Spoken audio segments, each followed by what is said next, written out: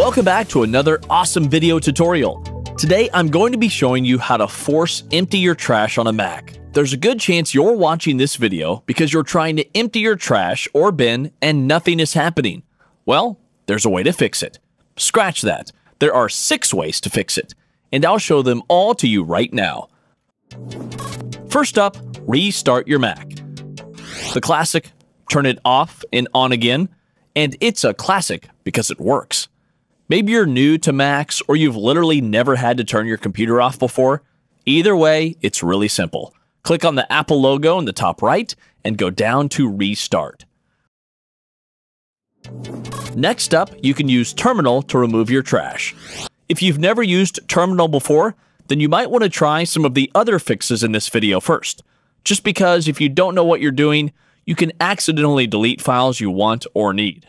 Now that that general disclaimer is out of the way, go ahead and open Terminal from your Utilities folder.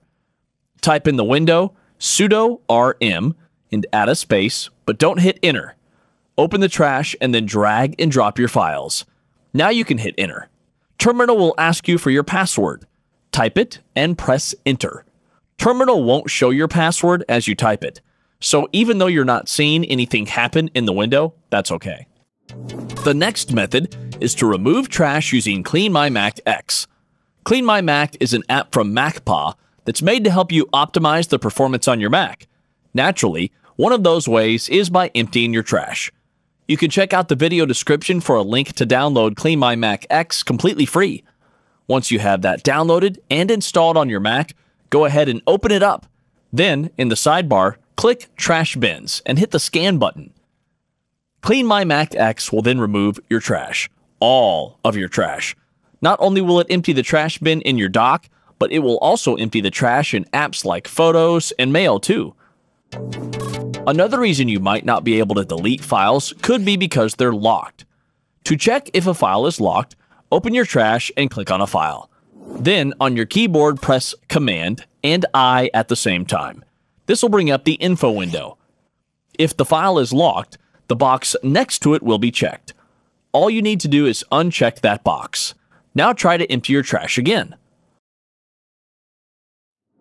Another possible reason for your trash problems could be due to bad disk permissions. But thankfully, you can use CleanMyMac X to repair those permissions.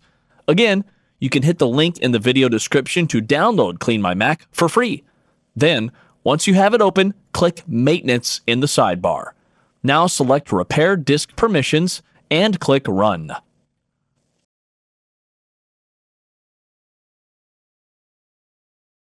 The last fix we'll talk about is how to empty your trash in safe mode. If you haven't had to start your computer in safe mode before, it's simply just a stripped down version of Mac OS.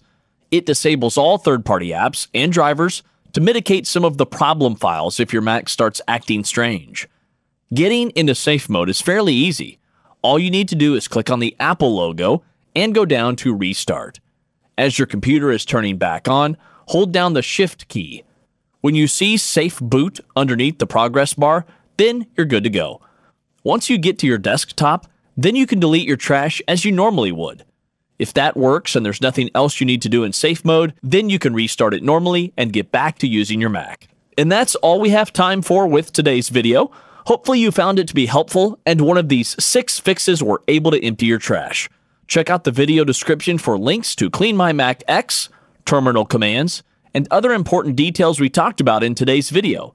Don't forget to subscribe to our channel so you'll be notified every time we post a video about a helpful tip. We'll see you in the next video.